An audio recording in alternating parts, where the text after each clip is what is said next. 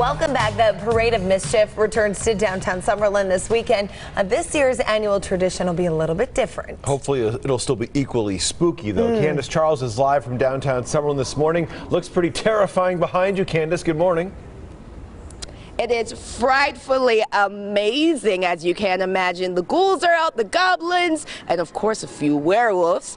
But there are some new things this year. I'm joined by Haley Arzinski with Downtown Summerlin. Now, I know this is one of the new floats, but I hear you have others. Tell us about it. We do. We added three new floats to our Parade of Mischief, and we're so excited to unveil it this Saturday at Downtown Summerlin. Awesome. Okay, you got to tell people a little bit more about the backstory of this amazing Parade of Mischief. Absolutely. So we've always had our holiday parade, and who doesn't want to celebrate Halloween all October long? So every Friday and Saturday in October, we've cast over 80 local local kids. And they'll be out here performing in the streets, causing mayhem and just celebrating, you know, the fun Halloween spirit. Awesome. And they're performing right now. They're showing us their skills. I'm loving it. Absolutely. Okay. Tell us when people can come on down here and enjoy all of this. Yep. So get on down here early. We recommend every Friday and Saturday. Make a night of it. Do some shopping, some dinner.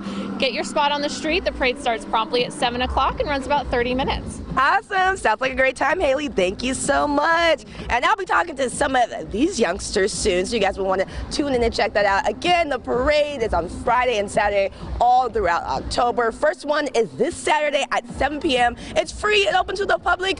You won't want to miss this. It really is a great time. And of course, I got you covered with all the details on 8newsnow.com. For now, I'm Candace Charles, 8 News Now.